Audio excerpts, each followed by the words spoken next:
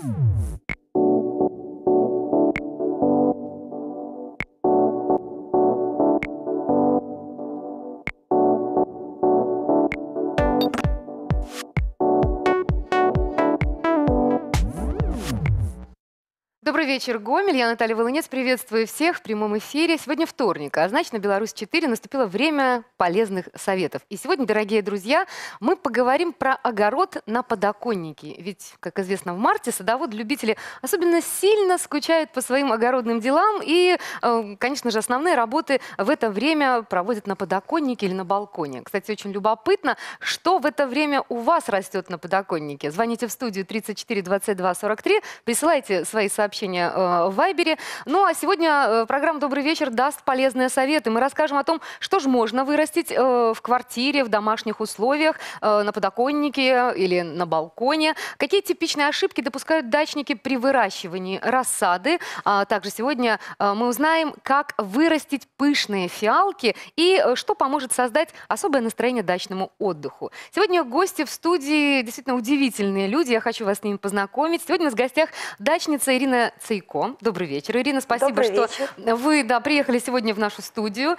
А, Сегодня у нас в гостях э, садовод-огородник со стажем, руководитель Гомельского э, садового центра природного земледелия «Сияние» Сергей Кривенков. Добрый вечер, Сергей. Знаю, что вы очень заняты, горячая пора. Вы всем даете советы, всех обучаете на мастер-классах. И сегодня очередь наших телезрителей. Да? Так Безусловно. что рассчитываем, рассчитываем на полезные советы. Ну вот рядом со мной а, цветовод-любитель, а, руководитель Народного клуба любителей кактусов, но при этом, вы не поверите, дорогие друзья, а, цветовод, который выращивает фиалки, это Олег Пряткин. Олег Добрый Александрович, вечер. добрый вечер. Вот такие вот неожиданные, наверное, думаю, для вас и герои сегодняшней программы, и темы, которые мы предлагаем. Но в любом случае очень любопытно э, всем узнать, что же в марте происходит на дачных участках. Вот расскажите нам, как идет подготовка к сезону. Вот, Ирина, например, вы уже были в этом году на, своей, на своем участке? На своем участке я нахожусь каждые выходные с удовольствием. То есть А, круглый год, что ли? Да, круглый год мы с мужем приезжаем туда, потому что очень любим свою дачу. Много вот. соток, расскажите. А, У меня, да, 12 соток. И все огород? Нет, конечно. А под огород сколько вот? э, А, Под огород у меня всего лишь одна соточка и теплица 10 метров. А, и теплица 10 Да, метров. в которой я выращиваю все. Мы где-то, может быть, фотографии покажем. э, По-моему, да, что-то у нас было про теплицу. Ваша, не ваша. Сейчас как раз и уточним. Покажите нам, пожалуйста, фотографии Ирининой дачи. Что же там происходит в это время? Действительно, очень любопытно узнать. А что, вы уже подготовились к сезону? Вот что решили выращивать в- этом году? Ну, конечно, к сезону я подготовилась. Я уже вырастила себе на подоконнике Так, всего это, я лишь- так понимаю, розы. Это розы, да. Хорошо. Это мои розы, И я уже что? их открыла. А это уже в моей теплице вот такая взошла редиска. Уже. Ого, это Да. ваша теплица. Это 10 вот метров. моя теплица до того, как еще до высадки. А Подождите, я если уже- у вас а, один э, метр э, всего лишь, э, ой, одна сотка Одна всего сотка, лишь да. Под огород, 10, Обратите внимание, а вот это моя дача. а вот это Э, ваш Да, участок у меня идет. просто Мгм. там э, газон и все. Ну, а вот теплица, вот ничего соточка. себе. Вот смотрю, Олег. Александрович под фиалочки в такую с удовольствием. Ну, подождите, тогда все, получается, вы выращиваете в своей теплице. Все А выращиваю, что все именно? Да, что именно? Вот э, в эту теплицу я высажу в этом сезоне всего лишь 16 томатов. Всего лишь, да? Да, Мгм. всего лишь. Мне не нужны плантации. И высажу туда где-то 20 огурчиков. Посажу примерно 12 перцев, персиков. И поверьте мне, этого достаточно будет. И э, все это для того- займет э, такую большую теплицу? Да, займет. Э, Почему я сажу растения всегда очень редко? Для того, чтобы им хватало света, чтобы было проветривание, потому что в этой теплице я выращиваю и томаты, и перцы, и огурцы одновременно. И- Э, Вот сейчас ранней весной я, как видели, уже по- посеяла там раннюю зелень, лучок на перо, э, потом редиску, укроп, э, посадила эту самую петрушку. Вот я зелень уберу и высажу уже ту рассаду, которая у меня на подоконнике, сразу в теплицу. Все мои растения прекрасно будут там себя чувствовать и давать мне самый ранний первый урожай. Когда вот самый первый урожай вы получите? Э, вот, ну вот э, получу я, рассчитываю, что уже огурчики и томаты буду, будем пробовать где-то в середине июня. Сергей, вот меня знаете, что смущает? Я, конечно, не дачница, но даже я слышала, что огурцы и томаты, помидоры нельзя, в- по-моему, вместе садить. А здесь вот в одной теплице это возможно? Вот вы как эксперт. Совершенно верно. Я вот как раз хотел у Ирины уточнить, у нее, может быть, есть какие-то Секреты, да, Ирина, как удается? вообще удается вырастить в одной тогда. теплице. Потому что э, я знаю, многие садоводы считают, что огурцы в одной теплице выращиваем, томаты в другой, ну, перцы тоже отдельно выращиваются. Ну, я знаю, что у вас получается. Вот, скажите, поделитесь, как Да, это вы делаете. Ну, вот я удается. никогда не скрываю, я с удовольствием поделюсь и расскажу, что да, бытует такое мнение, и часто слышу, что ой, как у нее там это растет, но однако, когда люди видят, что, э, проезжая мимо, что у меня висит урожай, и с одной стороны томаты, э, со второй эти огурцы, ну а кто заходит в теплицу непосредственно, то видят и перцы, которые висят. А, Секрета никакого нет. Благодаря, опять-таки, знакомству с Центром природного земледелия, вот, э, э, там есть такие биопрепараты, которые я использую. Я э, человек рабочий, на даче появляюсь только на выходной день и выделяю один раз в неделю, опрыскивая биококтейлем А, все то свои есть растения. ваш секрет это какой-то волшебный Биококтейль. биококтейль? Да, ну волшебный поделитесь тогда с биококтейль. нашими зрителями, э, что, что входит в состав этого коктейля. А, В состав биококтейля входит всего лишь три препарата. Это э, структурированный сахар, один под воздействием золота и серебра, а второй структурированный сахар под воздействием растений. И еще один препаратик японский из вытяжек растений долгожителей – это HB101. То есть, Сергей, я так понимаю, что биококтейль это не И химический. один еще. Это не химический Ну, состав, да? Это все как бы такое органическое. Совершенно верно, да. Э, У нас получается вообще все препараты, мы все рекомендации даем садоводам исключительно для того, чтобы вырастить экологически чистый урожай. И вот спасибо, Ирина поделилась. Э, Мы, да, даем эту рекомендацию раз в неделю биококтейлем обрабатывать, именно для того, чтобы растения были здоровыми и хороший был иммунитет. Но вот она нашла еще одно применение. Она, видно, где-то заметила, не знаю, понаблюдала, и вот у нее получается плюс э, как раз в одной теплице. То есть, я так понимаю, такой биококтейль подходит и для роз, и для яблонь, и, Э, наверное, и для, и для человека, наверное. Надо будет попробовать, да, Олег Александрович?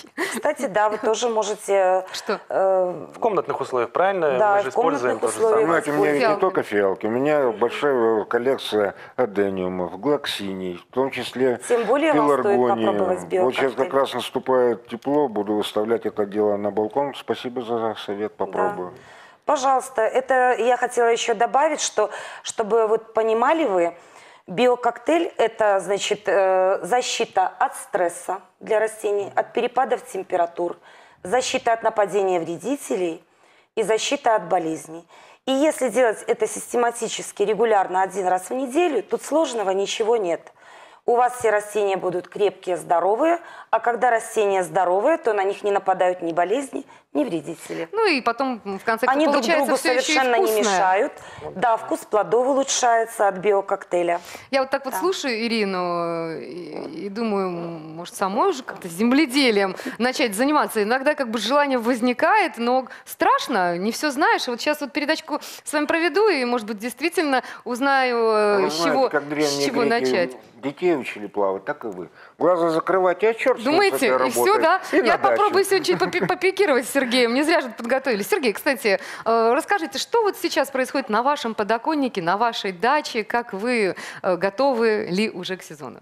Э, Ну, опять-таки, Ирина рабочий человек, я тоже работающий человек. И, конечно же, весна – это пора, когда много чего не успеваешь. Но на даче, на самом деле, сейчас всходят первые цветы весенние. Вот у Иры всходили, у меня тоже всходят.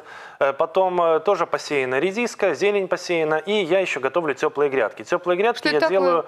А вот как раз э, на экране мои теплые грядки, которые будут. Это грядка, которая наполняется, ну здесь Олег уже рассада, да. Так. А грядки наполняю органикой, э, пересыпаю теми же бактериями. И в этот сезон, вот в этой грядке очень хорошо растут, особенно растения, которые мы выращиваем через рассаду. Это баклажаны, перцы вот на экране, там томаты те же самые.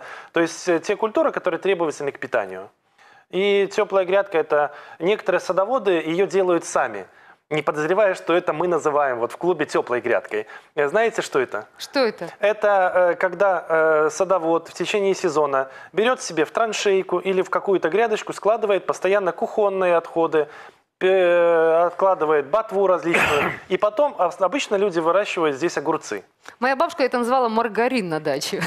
Вот то, что вы Ну, называете сейчас теплой грядкой, да, приблизительно так. Это и есть то самое удобрение, да, вот скажем, вот это все, что Да, ведь, э, готовится, из чего все получается. Основа э, вот, природного земледелия Да. это органика. Органика плюс бактерии полезные, почвенные, вот, которые мы добавляем.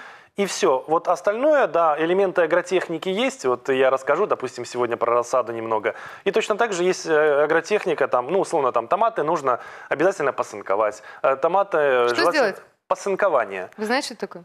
Пример.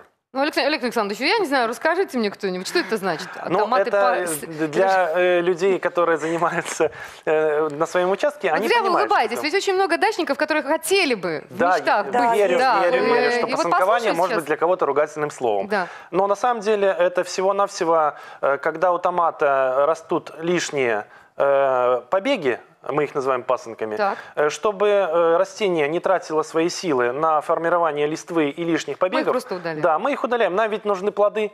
Вот нужно это своевременно делать. Ну, одна из э, особенностей агротехники. А вообще расскажите, что вы вот, Сергей, э, человек, который, ну, действительно, вот, большой эксперт, с большим опытом уже в этом деле, э, что вы выращиваете сегодня на своей даче? Ну, выращиваем все.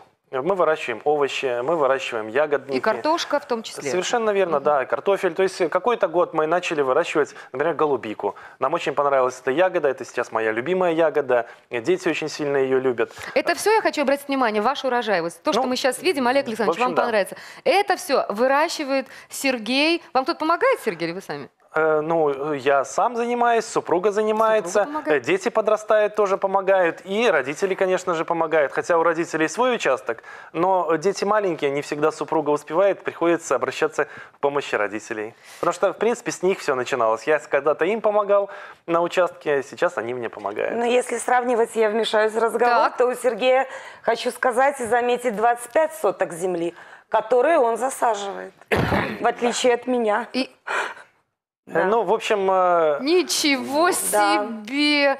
Подождите, Сергей, как давно у вас дача? Вы меня очень удивили сейчас. Спасибо, Ирина, за информацию. Ну, да. дача э, больше 10 лет. Э, Естественно, мы сразу не начали все обрабатывать. Э, Начали обрабатывать постепенно. Но Мгм. это, в принципе, одна из рекомендаций начинающим садоводам. Не торопиться э, браться там за все культуры. Почему? Потому что, как в любом деле, нужно ну, набить руку, набраться опыта, учиться чему-то. Поэтому мы постепенно-постепенно этот участок осваиваем. Тот участок, который не освоен, мы засеваем ну, еще одно слово скажу, необычное, сидератами. Э, Это зеленые культуры. Э, Многие знают, что такое редька масличная, что такое горчица. Вот это и есть сидераты. Сидерат, Чтобы земля понятно. не пуставала, а давала потом Скажите, что-нибудь есть на вашем участке сегодня, э, чего вы не выращиваете? Арбузы, дыни, персики, что или что-то такое, чтобы вы хотели еще посадить? и Ну вот арбузы, дыни, э, какой-то год мы садим, какой-то не высаживаем. Э, Персик у нас рос на участке, но у нас ветреный участок, э, не весь огороженный. И вот у персика есть такая особенность, он не любит ветров, например. Мы его, было такое, что попробовали, а потом был сезон, когда у нас саженец пропал. То есть, ну, в принципе, это рекомендация любая садоводам, э, кто будет выса- высаживать персики, их нужно садить в затишном месте. Ну, вот, э, Ну что ж, дорогие друзья, вот таких рекомендаций сегодня, надеюсь, будет очень много. И вот эти фотографии вот с этим урожаем, Сергей, конечно же, меня очень удивили. Вот как получить такой роскошный урожай? Вот сегодня расскажем и покажем, дорогие друзья, в прямом эфире. А пока конкурс. Как обычно, а, конкурс в программе «Добрый вечер, Гомель». Сегодня мы разыгрываем пригласительные билеты в Музей истории Гомеля. Там очень много интересных выставок, интересных проектов, мероприятий. Я думаю, это будет хороший подарок для наших телезрителей. Итак, э, для того, чтобы получить этот подарок, надо позвонить по телефону 34 22 43 и ответить на вопрос нашего конкурса. Так как сегодня мы готовимся к дачному сезону, то, естественно, вопрос на эту тему. Нужно назвать, дорогие друзья, внимание, самую популярную у дачников культуру, которая долгое время считалась декоративным растением, а его плоды были ядовитыми, считались ядовитыми. А, Эту культуру даже выращивали в горшках, как комнатные растения, и использовали для украшения садов. 34 22 43. Интересно ваше мнение. Напоминаю еще раз вопрос. Нам нужно назвать самую популярную у дачников культуру, которая долгое время считалась декоративным растением, а его плоды э, ядовитыми. Э, Разыгрываем пригласительные билеты в Музей истории Гомеля. Вот, кстати, Олег Александрович, а у вас дача-то есть? Ну, у меня у мамы. Это, мне кажется, еще важнее, да? И вот Согласен. вы помогаете вообще? Ну, в качестве рабсилы, конечно. Но я смотрю, вот как-то вы не сильно настроены на... на- Для меня, поймите правильно, я Что не хочу вас сказать дача? ничего плохого насчет дачников. Для меня дача – это святое слово. Газон засиян. Это газон, персик, яблочко. Удивительно, учитывая- Это немножко грядочка для пера. Так, Так, и шашлык, мангал, который должен вращаться в соответствии с розой ветров. Естественно, поленница дров, желательно рядом река. представляю, сколько, сколько вы сейчас вызвали у многих наших дачников. У каждого э, свои реакцию. недостатки. Но с другой стороны, действительно, сегодня вот согласитесь, да, такой вариант дачи действительно становится тоже очень распространенным. А я бы хотела обратить внимание, что мне очень нравится наша компания сегодня, да. Сергей, вот согласитесь, разрушаем стереотипы дачников, молодые, интересные. Я бы даже дачниками вас не назвала, Ирина, модель просто, Ну, да. И в ну, то же время, да, люди, которые действительно выращивают сами, своими руками овощи, фрукты, такие действительно урожаи замечательные. Ну что ж, э, мне просто интересно, Олег Александрович, где же тогда вы, ваши фиалки-то растут? Это на подоконнике, получается, на Все балконе? начиналось с подоконника. А сейчас это у вас какая-то своя оранжерея? Ну, оранжерея – это вся квартира. То есть по всей квартире цветы? М, Да. Мечта Да. любой женщины, Да. наверное. Да. Да. Скажите, а что еще, кроме фиалок, вы выращиваете на подоконнике? Может быть, там лучок зелененький вот по сезону? Нет, нет. Ничего такого ну, нет. такого нет. Да? Кроме фиалок у нас коллекция адениумов, стрептокарпусов, глоксиний, пеларгоний. Все это у нас есть. А из культур овощных я приеду к маме, и там на даче. Там э, э, заработаешь, что называется. Вот вы, вы про свои цветы как стали рассказывать, у Ирины аж глаза загорелись. Ну что ж, дорогие я друзья, очень люблю цветы. про цветы и фиалки это чуть далее, а пока, конечно же, о главном, это э, о рассаде. Ведь в марте действительно все дачники готовятся к сезону, и все заботы только о рассаде. Сергей, я думаю, самое время рассказать нашим зрителям о том, с чего начинается огород на подоконнике, что в это время, там, я не знаю, пикируют, высаживают. Я смотрю, вы принесли рассаду. Вот приглашаю вас э, за наш стол. Расскажите, покажите, объясните. А, давайте, пока вы готовитесь, мы послушаем телефонный звонок. У нас, э, да, телезритель на линии. Добрый вечер, вы в прямом эфире. Здравствуйте. Э, Здравствуйте, как вас зовут? Дарья. Дарья, скажите, у ваших родителей есть дача? Нет, но мы очень хотели бы. Хотели бы дачу. Ну что ж, я думаю, сегодня посмотрите программу нашу и, может быть, уговорите родителей действительно э, создать свой огородик. Э, скажите, Дарья, вы готовы поучаствовать э, э, в нашем конкурсе? Да. Ну что ж, надо назвать самую популярную у дачников сегодня культуру, которая долгое время считалась декоративным растением, а его плоды ядовитыми. Ее даже выращивали в горшках, как комнатные растения, и использовали для украшения садов. Как вы думаете, что же это за культура дачная? Это, мне кажется, это картошка. Ну, ну нет же, да? К Близко. сожалению, близко. Даш, давайте мы вам еще одну попытку дадим. Еще одна. Какая вот самая популярная у дачников культура, подумайте. Я вам подскажу даже. Дарья, ну что ж, э, мы тогда, вы подумайте и позвоните нам еще раз. Вдруг у вас появится вариант. Дорогие друзья, мы продолжаем конкурс э, 34 22 43. Если у вас есть э, вариант ответа на этот вопрос, звоните, пожалуйста, на программу «Добрый вечер, Гомель». Напоминаю, что мы готовимся э, к дачному сезону. Жаль очень, вот я люблю, когда нам звонят наши молодые зрители. Вот очень жаль. Дарья, ждем, ждем. Мы очень хотим, чтобы вы победили и выиграли билеты в музей истории. Ну что ж, давайте начнем говорить про рассаду. Что вот в это время э, дачники уже посадили или собираются высаживать? Э, Естественно, что большинство садоводов уже посеяли и перцы, и баклажаны. Э, Кто-то сеет лук, э, кто-то лук-порей сеет. Сейчас в основном сеются томаты. И э, есть садоводы, которые ну, профессионально занимаются, то есть они знают, как правильно вырастить и перцы, и баклажаны при позднем посеве. То есть сейчас еще можно не, не поздно посеять и перцы, и баклажаны. Главное все правильно сделать И тогда получите э, хороший урожай. То есть, дорогие друзья, если вы вот расстроились, что вот не успели что-то посеять, то баклажаны и перцы, в принципе, Совершенно время верно. Бывает, еще что есть. семена не взошли. Мгм. Есть такой тоже вопрос, потому что семена, допустим, томатов, они быстро всхожи, а перцы баклажаны могут долго всходить. Если у вас они долго не всходят по каким-то причинам, то можете еще смело сеяться. Но главное вот все условия соблюдать э, при выращивании рассады и добьетесь хорошего результата. Сейчас покажем, как это делать. И Я хотела уточнить, вот эта красивая рассада, которая в горшках вы принесли в студию, что это такое? Ну, это э, все уже, наверное, понимают, что это не арбузы дыни, хотя про это речь шла. Ну, мне кажется, это огурцы, Это огурцы, да? совершенно верно, да. Огурчики, которые э, мы э, выращиваем дома, есть- потому что сейчас еще рано сеять для огорода. Подождите, А вот- это огурцы, которые вы круглый год выращиваете на балконе? Да, балконные огурцы, совершенно верно.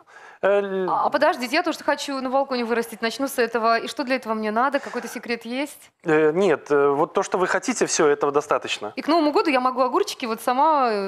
Да, хоть к Новому Так. году, хоть к 8 марта, хоть к любому другому семена, празднику. я взяла семена, купила посеяли, специальные, посеяла. посеяли. Дальше. Можно, главное, обеспечить несколько факторов. Э, В принципе, э, плавно переходим даже к тем факторам, которые нужны для любой рассады, не только на э, рассады, которые потом, допустим, будет расти дома. Это хороший, правильно подготовленный почвогрунт и остальные условия. Это температурный режим, дальше питание и освещение. Вот то, что очень важно при выращивании комнатных растений и точно так же при выращивании рассады.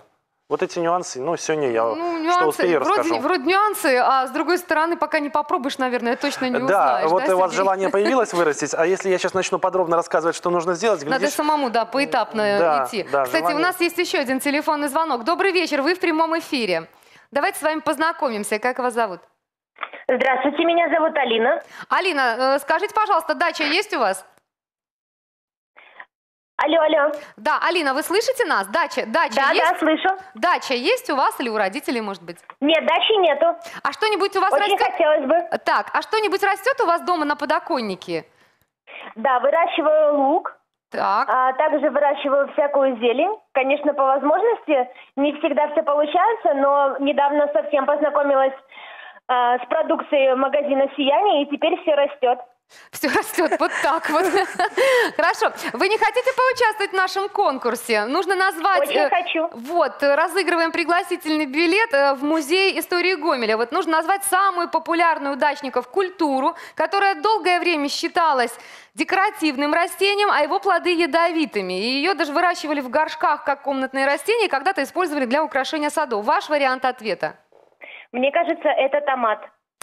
Ну, вот сейчас вот действительно правильный ответ Да. на вопрос. Спасибо Молодец. большое, вы выиграли. Да, действительно, такой вот э, своеобразный вопрос, своеобразный ответ, хотя многие рассуждают, ягода это томат, это или... э, Совершенно верно, есть такие да, споры, да. Или овощи, вот. Ну, мы не будем спорить на эту тему. Мы поздравляем победителя э, с, с выигрышем. Ну что ж, э, давайте сейчас что-то будем садить, рассаживать, показывать. Я думаю, что, наверное, самое время заняться грунтом. Это то, наверное, с чего все начинается. Да, начинается все с грунта, но э, по грунту, если говорить, то грунт правильный готовить заранее. Э, Вот этот грунт я приготовил за 2-3 недели до того, как вот э, пришел к вам сегодня в студию. Грунт, основное, что основная ошибка садоводов, они берут покупной грунт или свой готовый с участка и в него и сеют. Очень часто растение может заболеть, может от переизбытка минеральных элементов пострадать и сгореть корневая система, поэтому грунт мы готовим.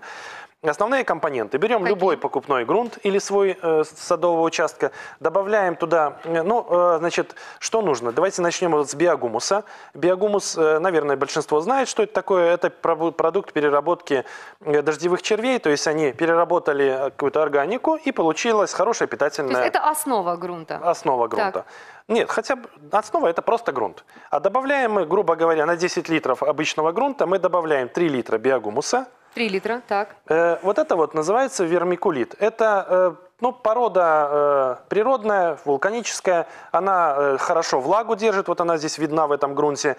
И плюс еще дает питание, рыхлость грунту. Мы где-то порядка 2,5 литров на 10 литров Так. тоже добавляем. И дальше основной компонент это вот эти почвенные бактерии.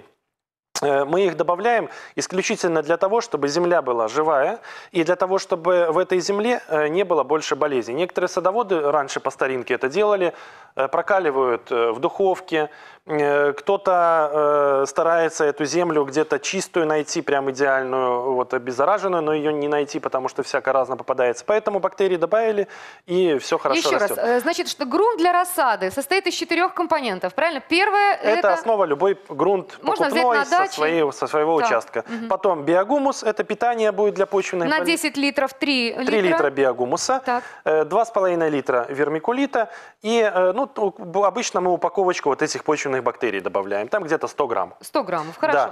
Да. За Все две- это смешали за, две 2-3 недели. Мгм. Если у вас вот по какой-то причине сейчас вот срочно нужно пикировать или срочно сажать, у вас нет этого запаса 2-3 недели, то э, мы просто вот этих бактерий, вот я специально здесь э, их развел, они там настаиваются 12 часов, я просто беру, вот как на огурчиках покажу, э, по столовой ложечке буквально, Потом, когда растения повсходят, вы просто по столовой ложечке будете раз в неделю их подливать. То есть это нужно для того, чтобы земля была обеззаражена, почвенные бактерии свое дело сделают. Все.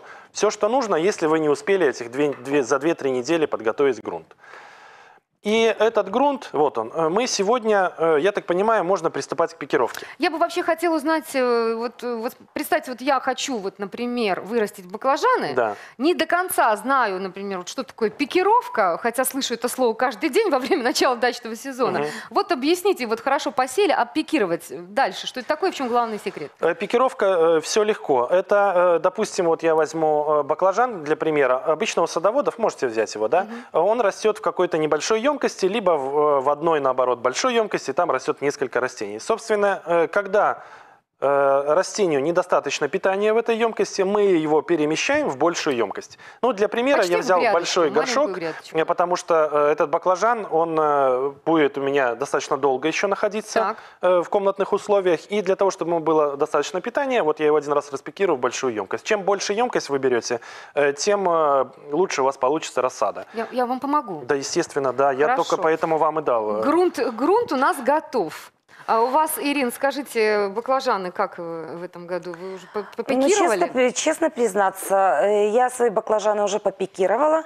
Я высаживала в этом году три сорта баклажан.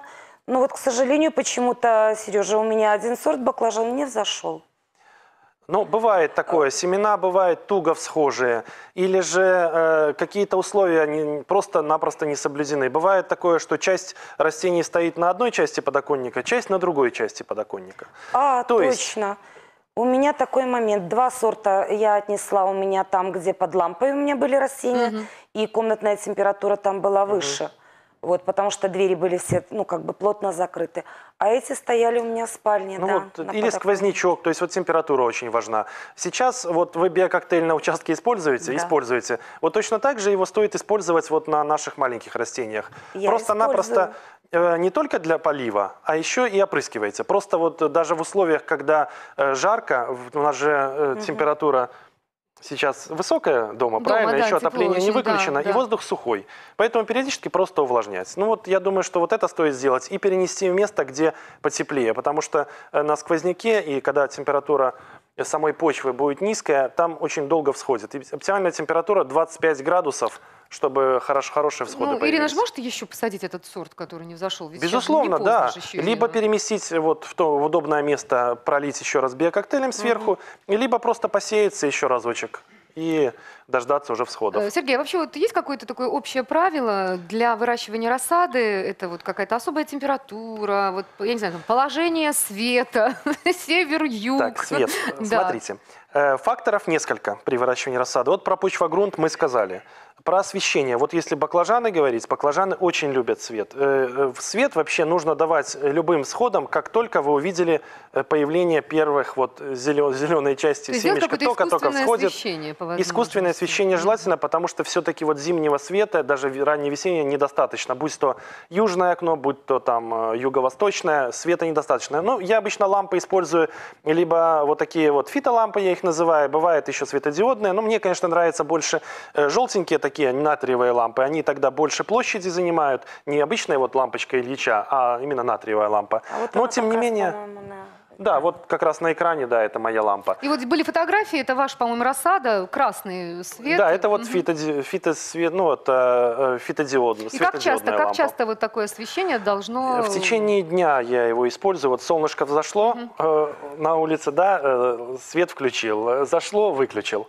То есть вот баклажаны, они это любят. И рассада не вытягивается при, при, Давайте- так- при давай- освещении. давайте уже посадим. Давайте посадим. А Да. то, конечно же, вам же уже хочется Я уже хочу, приобщиться, я уже хотела, приобщиться и- к и категории дачников, быстрее. правильно? Да. Ну, давайте я внизу немножко земли добавил. Э, А сколько ваша- надо добавлять вот для такого Э, Для э, такого растения? тут главное э, не сколько добавлять, а на какую глубину мы будем высаживать. Давайте добавим еще. Ну, пожалуйста, да. Вы же как э, начинающий, Начинающий, дачник, да. побольше. Поэтому э, ваше желание закон. Значит, смотрите, добавил я сюда немножко, так? Ну, давайте еще немножко, так, чтобы было немножко.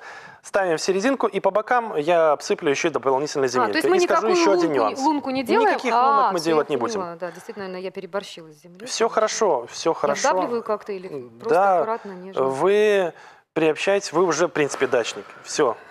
Боевое крещение прошло. Боевое крещение прошло. Баклажаном быть. Да, я так понимаю, что э, с меня урожай баклажан, правильно? Ну, если вырастут, э, Сергей, я не знаю, может быть, я... Нет, но э, то, что у вас рука растить. легкая, это сразу этот- понятно. Потому что он сел прямо по центру. Вот я здесь слегка утрамбую. Не знаю, это действительно очень интересно, да. И, это- конечно же, э, по баклажанам, что важно. Э, Баклажаны ни в коем случае нельзя заглублять. Мгм. То есть, если, допустим, я покажу вот на этой парочке, так, э, если у вас томаты, они еще терпят заглубление, То есть э, вот до этого момента, да? ну, вот э, до какого момента? Бывает, в садоводу вытянулась рассада, и она падает. э, И он ее хочет Томаты можно заглубить. С баклажанами, с перцами этого делать не надо.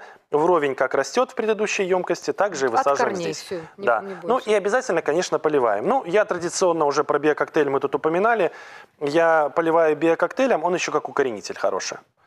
Влажность нужна, чтобы просто соприкосновение было с тем грунтом, который есть. Вот оно немножко у нас грунт осел, поэтому сверху я досыпаю. И это мы с вами пикируем. Это называется пикировка. Dорогие друзья, Да. вот так вот мы в прямом эфире пикируем сегодня баклажаны. Очень интересно, хочу им сказать. Ну, Не сложно, мне кажется. Ну, под руководством Ой. Сергея совершенно не сложно, да, даже техника не выдерживает э, такого. Сколько Нагрузки. надо времени э, этому растению, э, чтобы потом перейти на грядку? в грядке. Вообще э, легче всего считать так. Э, баклажаны, перцы у вас дома должны находиться, начиная от всходов, порядка 50-60 дней. Вот по баклажанам, перцам этот срок. Ну, грубо 2 месяца. Соответственно, э, вы смотрите, конечно же, на момент высадки. Кто-то будет высаживать в теплицу, это значит рассада будет раньше в грядке помещена. Кто-то будет высаживать в открытый грунт, где прохладнее, соответственно, позже.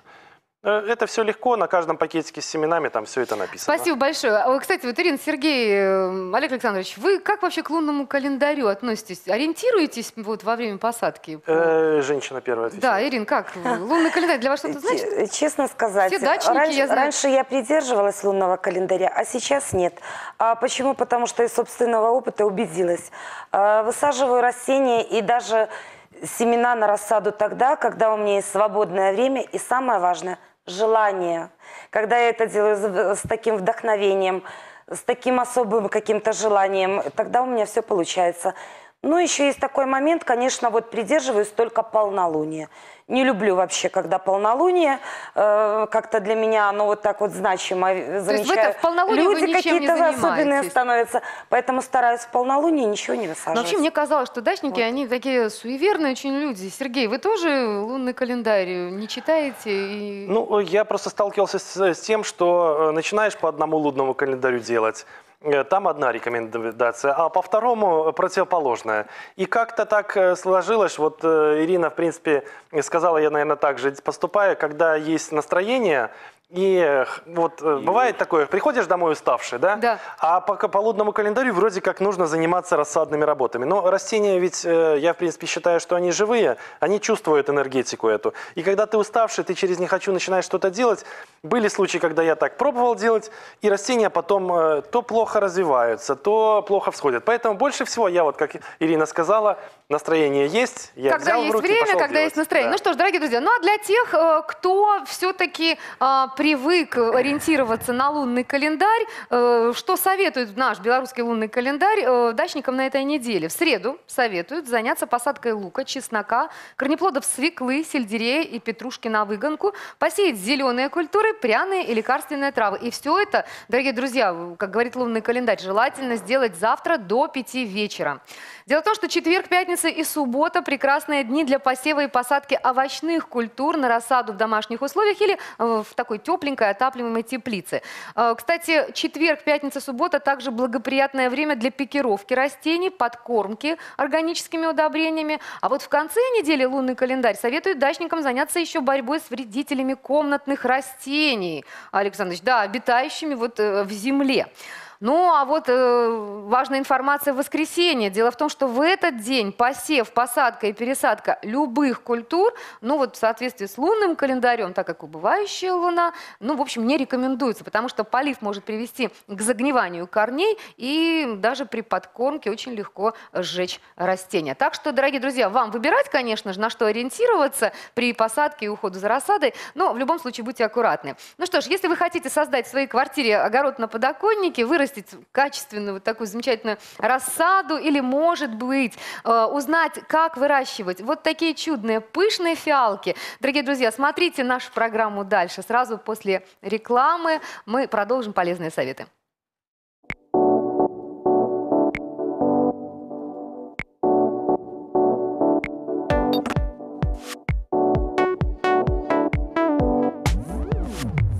Дорогие друзья, каждый вторник на Беларусь-4 в программе «Добрый вечер, Гомель» мы мы даем полезные советы. 34 22 43, телефон прямого эфира. Звоните в студию. Сегодня о своим опытом, рекомендациями в прямом эфире делятся дачники. Это Сергей, Ирина и цветовод у нас, специалист по фиалкам. Да, Олег Александрович Пряткин.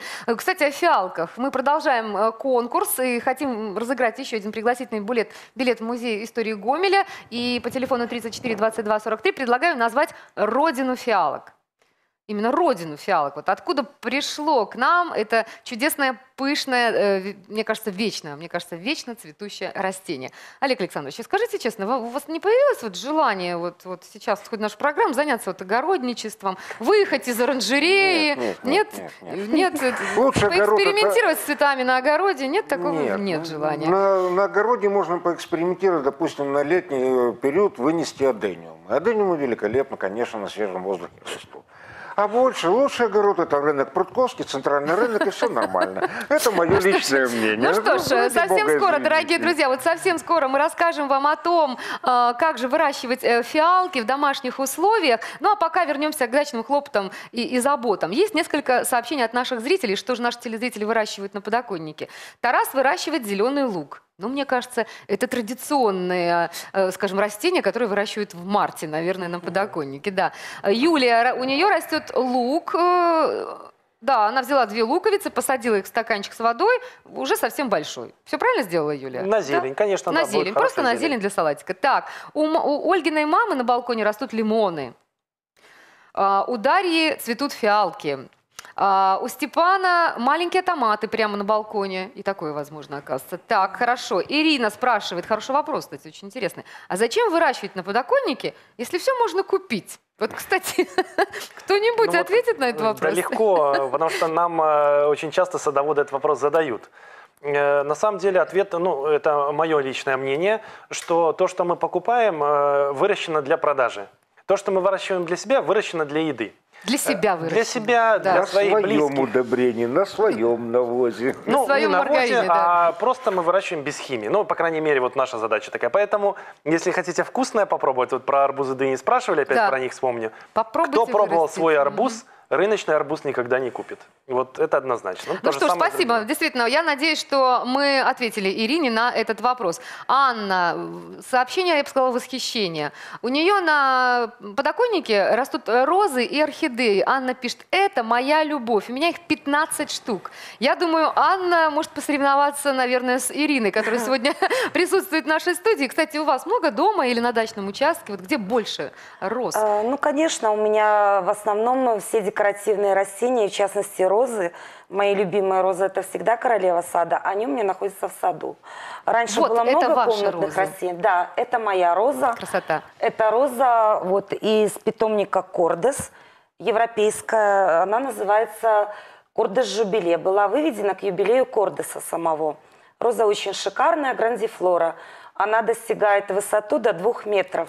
У нее огромные цветы, в диаметре могут достигать до 25 сантиметров. Слушайте, а сложно вырастить вообще такую розу вот на дачном участке? Абсолютно несложно. А что надо для этого, кроме того, чтобы посадить? я ну вот понимаю, мне часто тоже мне задают такие вопросы. А, Ира, почему у тебя такие огромные розы? И они у тебя так все время цветут, ты их, наверное, чем-то там кормишь или ты что-то знаешь. А я вам скажу, нет. Это особенность сорта. В первую очередь, это особенность сорта. А Вот эти европейские розы, они отличаются тем, что у них непрерывное цветение с ранней весны до морозов, до заморозков. То есть они у меня уходят в бутонах, уже выпадает первый снег, но я их не трогаю. Они очень устойчивые э, к морозам, они выдерживают температуры минус 30 градусов. То есть вот э, такой зимой, как была эта, если она снежная, то их можно даже не укрывать. А я знаю, что у нас есть фотографии. Покажите, пожалуйста, как сегодня выглядят эти розы. Я знаю, что вы вот буквально вчера нам прислали эту фотографию. То есть вот, да, Да. вы их недавно, я так понимаю, раскрыли. Да, я раскрыла зимы? их э, позавчера, получается. И вот тут особенность такая, значит, когда я открываю свои розы, э, здесь видно на фотографии, что перезимовали они шикарно, они зеленые, они не- у меня не черные. Вот я уже сделала санитарную обрезку весеннюю, обработала их от вредителей от болезней аптечкой садовода. Ну и все. И ждем, Сейчас... и ждем цветения, И ждем, да. получается? Сейчас они уже начнут, э, э, начнут появляться цветочные почечки, по- появятся листочки, розы тронутся быстро в рост и начнут меня уже радовать первой волной своего цветения. Расскажите еще раз, назовите нам еще раз э, главный секрет. Европейские розы, да? Сергей, Европейские розы, понимаю? особенно сорта. Да, я уже тоже Э, увидел. Вот э, раньше у меня на участке было много разных роз. Я их приобретала в каких-то магазинах специализированных, где-то даже покупала на рынке, ну, каких-то садоводов, огородников таких, которые увлекаются розами. Вот. Но когда я познакомилась с Центром природного земледелия «Сияние», В общем, европейские и розы. узнала об Ищите этих розах, европейские розы. и завела в называется. своем саду, э, то я сравнила и поняла, что Растут кроме- сами, практически растут Ну, сами. да, основное, да, что, извините, да. перебью, там э, по цветению мне тоже вот нравятся розы, у меня тоже э, на участке есть. Они постоянно цветут, вот что мне понравилось. цветут. И Весь они сезон. устойчивы к болезням. Вот э, у Да, Иры тоже, очень. я посмотрел сейчас на фотографии, тоже красивая. А у нас есть несколько сообщений от зрителей с вопросами. Ольга спрашивает, Сергей, почему на рассаде появляется мошка? А И что с этим Мошка делать? основное, вот я про влажность еще забыл упомянуть, это от переувлажнения больше всего. Э, Тоже легко с этим бороться. Есть э, природный препарат фитоверм, он много где продается. Это везде Э, практически продается. Да, он э, именно вот, вот этих мошек. И что еще нужно сделать? Вот вермикулит я сегодня показывал, он сейчас Так. на столе стоит. Вы земельку фитовермом обработали и сверху вермикулитом прикройте, чтобы, если там остались личинки, чтобы они просто э, не выбрались уже, э, точнее, не то, что не выбрались, а чтобы новая мошка туда не залезла. То есть Сколько это вот, нюансов, э, сколько всего надо знать Больше всего дачникам. А, Если можно коротко, еще один вопрос от Раисы. Новинки сезона про помидоры. Какие самые урожайные, как правильно вообще выбирать для посева? Э, Ну, по томатам Что и по любому сорту это, в принципе, э, ответ такой, что э, каждый, каждому нравится что-то свое. Новинки сезона я не сильно тоже люблю про это говорить, потому что в этом году ее кто-то расхваливает, какой-то сорт. Мы его попробовали, да, он может быть урожайный, но, например, по вкусу не понравился. Поэтому я лучше скажу пару сортов, которые мне нравятся. Которые вы уже попробовали Да, мне вырастить? нравится сорт э, «Чудо земли». Это классный к- крупноплодный сорт, высокорослый, он розовый такой. Э, Томаты, ну, ре- реально Сахар сладкие на, такие. на разломе. Да, ну, тоже растет, да. Э, Потом мне нравится Кёнигсберг золотой, вот он такой тоже оранжевый. И, ну, традиционные сорта, это типа Дебарао, тоже, но это всем привычные сорта. То есть, ну, про сорта можно долго рассказывать и не стремиться, не нужно стремиться их за новинками. Можно пробовать или Можно же, по пробовать, крайней мере, да, уже да. то, что рекомендовано. Совершенно Спасибо верно. большое. Итак, у нас есть телефонный звонок. Будем надеяться, что это участник нашего конкурса. Хочу напомнить вопрос. Э, Это нужно было назвать по телефону в студии э, родину фиалки. Э, Вот давайте познакомимся с нашим телезрителем. Добрый вечер, вы в прямом эфире. Здрасте. Ой, здравствуйте. Как же зовут нашу телезрительницу? Дарья. Дарья, Дарья, у вас есть еще одна возможность, да, выиграть э, э, билеты в музей э, истории. Ну, как считаете, Дарья, родина фиалки – это какая страна? Мне кажется, что это Восточная Африка, потому что фиалку еще называют Узумбурской э, в честь гор в Африке. А сколько вам лет, Дарья, скажите, пожалуйста? 12. А у вас дома есть фиалки? Да. О, Олег Александрович, ну правильный ответ на вопрос. Она совершенно правильно, только это не, Узумбар, не Узумбурская, а Зумбарская. Ну, это немножко не горы, а это плоскогорье. Ну, А так она совершенно правильно сказала, что тут плато Узумбар, где французский естествоиспытатель Сен-Поли нашел небольшую травку. Вот потому и называется симполия, да, И из нее фиалка, да. вырастил вот это прекрасное комнатное растение. Ну что ж, Дарья, вам всего 12, так что вы будьте Молодец. аккуратны. Да, на уроках географии и биологии вы выиграли сегодня, естественно, э, пригласительные билеты в музей истории. Спасибо вам большое за этот телефонный звонок. Ну что ж, дорогие друзья, вот сразу после рекламы э, мы поговорим о том, как же выращивать эти чудные, пышные э, комнатные цветы под названием фиалки или синполия. Правильно? После рекламы вернемся в студию.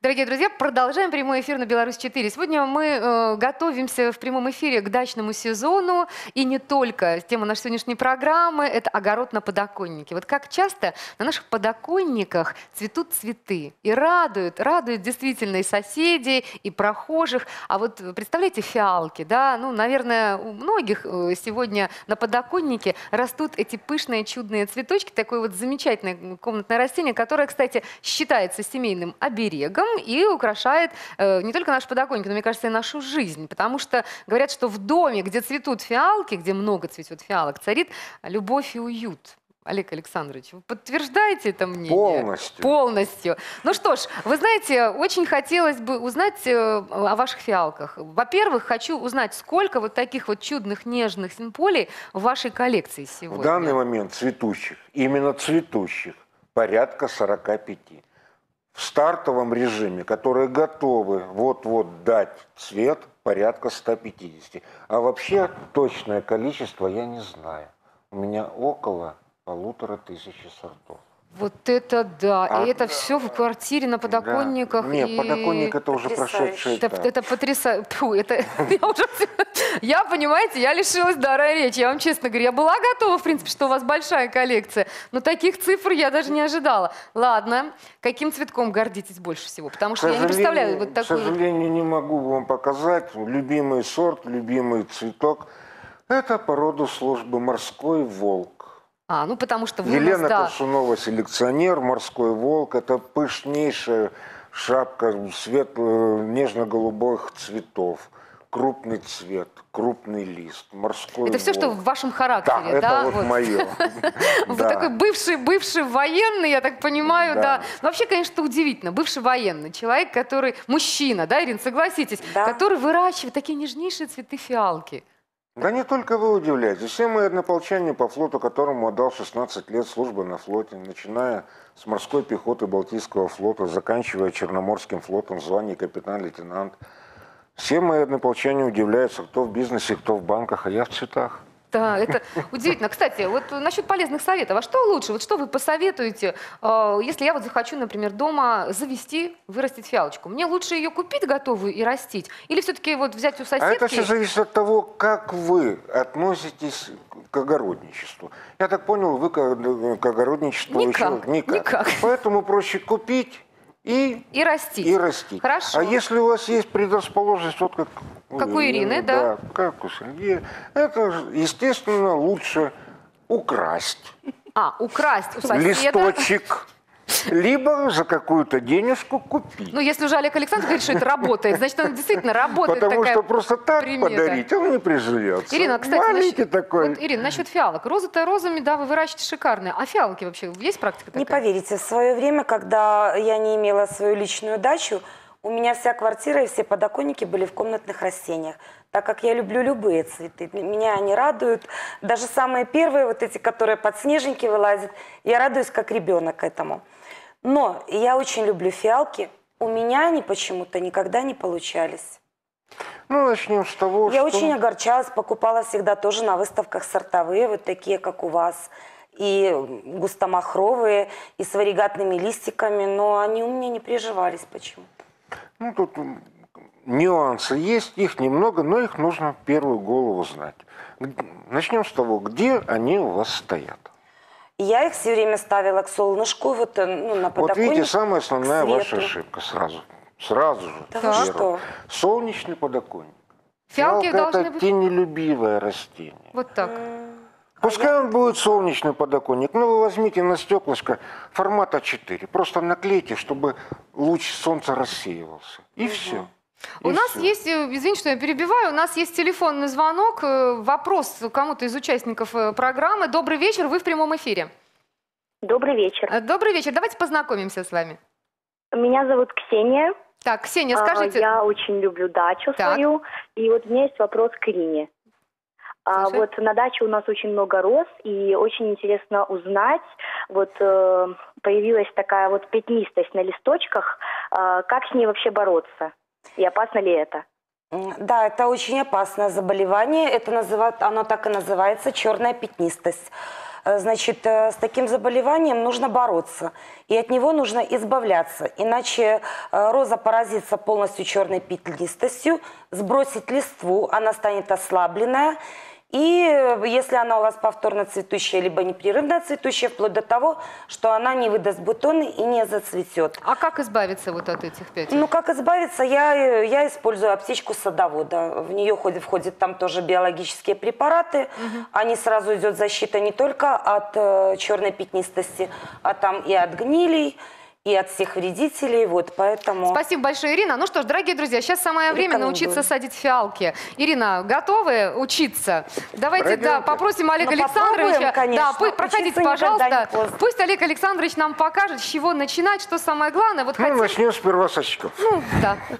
Значит, все элементарно просто. Вот берем фиалку, берем обычный грунт. С Сергеем полностью согласен. Грунт обычный, но маленький нюанс. Фиалка любит пышный грунт. То есть надо Добавляем перлит и все. Сергей вот сказал, что он, многие садоводы э, грунт пропаривают. Я тоже всегда грунт пропариваю. Прокаливаю в духовке. Ну, это кому как. Так, грунт для фиалки должен быть пушистый. Берем обычный горшочек. Ну, многие любители цветов делают большую ошибку. Типа, чем больше горшок, тем лучше. Для фиалки, чем больше горшок, тем больше листва и меньше цветов. Меньше цветов. Так. Да, поймите правильно. То есть для фиалки горшок Да, поменьше. вот самый оптимальный горшок, это вот калибр вот такой вот, с 8-10 сантиметров. Ну, это я взял И так. пышный, если- пышный же букет получился. Правильно, А. правильно. Берем вот грунт, обычный грунт. Все. Вот. Сделали так аккуратненько. Так, берем ножичек. Вот, допустим, берем вот этот вот листочек. Самый Вот. красивый? Ну, не обязательно самый. Или самый крайний. Самый крайний. Есть Облом- обломили. Обломили. Для того, чтобы его посадить, надо его аккуратненько под 45 градусов острым ножичком вот так вот надрезать. Так. Надрезали. Берем, аккуратненько вставляем в грунт. Почти как пикировать баклажан. Да, да, да, вставили в грунт. Даже проще. Берем ниточку капроновую, берем палочку. Берем ниточку на палочку. В любом горшочке есть дырочка. Просовываем. Для чего это? Для чего? Объясняю. Вот обычный вот такой вот контейнер, только без земли. Так, одну минуточку. Вот в контейнере дырочка. Закрываем контейнер, в контейнер наливаем воду, вставляем Интересно. Веревочку. нит- веревочку в воду, и фиалка берет столько воды, сколько ей надо. У многих основная ошибка у любителей цветов. А как поливать? Я вот поливаю вот так, вот так, с блюдца и так далее. Вот он самый Вот универсальный это и есть вопрос. полив фиалки. Да, это называется фитильный полив. Подождите, так поливать нужно уже выросшую Н- фиалку? Не или- обязательно, даже тот же самый горшочек со стула. Вот так вот просто будет стоять контейнер, любой контейнер, от корейской морковки, от всего чего угодно, понимаете? Вот, емкость, и фитиль будет брать столько воды, сколько надо. Все. Хорошо. Я смотрю, вы принесли какие-то, да, вот, уже готовые. это уже проросший листок. а красиво вот так. он, понимаете? Так. Сколько Вот. времени вот на это ушло? Ну, это вот буквально 2-3 недели назад я посадил Так. этот листочек. Вот этот вот листочек, вот покажите, пожалуйста. Вот видите, он уже проросший. Да, Так, там уже видите, видны, маленькая. видны маленькие Да, листочки. да, Уже да, корни да, даже да, какие-то да. пошли, так. Да. Это так называемая детка. Листочек по- постепенно отмирает, Так. и получается вот такая вот деточка. Растения. Растение. Вот из этого листа. Это через 4-3 месяца, через полгода. Вы поймите правильно, все зависит от сорта фиалки. Вот она растет, растет, растет, достигает определенного уровня, и вот наконец наступает момент, когда же ее пересаживать. Берете такой горшок, такой горшок, самый большой вот этот горшок. То есть больше нельзя Не, фиалку? не то, что нельзя, но не рекомендую. Этот же самый грунт аккуратненько разрезаете стаканчик, либо переворачиваете и полностью, вот как, допустим, этот, а, вставляете в горшок. Все. Дальше. Самая основная вот ваша ошибка. Вы сказали, что у вас э, фиалка стоит на подоконнике. Да. Я вам сказал. Дальше. Многие поливают, ах, я отстаиваю воду. Не надо. Воду не только отстаивать надо, но вода должна быть теплой. Потому что неизвестно... Какая темная? Теплая, А, теплая вода Потому что вот многие раз набрали эту пятилитровую бутылку, поставили, стоит, и она отстоялась. Но она ж не обратила внимания, что неизвестно где она. Понятно. Она может быть То теплой. есть поливать фиалки теплой водой? Да, теплой, теплой. И, да- все. Значит, два основных момента. Для того, чтобы росли э, дома фиалки, они должны стоять не на солнечной стороне или, по крайней мере, спрятаны от солнца быть. Да, от прямых лучей И солнца. поливать теплой водой. И причем поливать желательно вот таким способом, который Да. вы сегодня нам показали, через вот эту вот Да. веревочку. Ну и Спасибо. самое основное, матюкаться регулярно на них надо. Ну, я знаю, Под что многие... Баха. Да, ну, э, да, разговаривать цветоводы- с ними, любить их надо. Вот. Самое основное. Фиалка, конечно, любит э, определенную подкормку. Подкормка, я не буду загружать э, наших зрителей, обычное удобрение для комнатных растений. И ничего сверхъестественного. ничего сверхъестественного. И вот оно получается. Вот великолепный сорт. Спасибо. Пестролистный. Называется марш Мендельсона. Ну, Ой, я какое хочу сказать, название. дорогие друзья, мне кажется, что Олег Александрович э, с Ириной могут до утра сейчас говорить о цветах и делиться какими-то советами, да.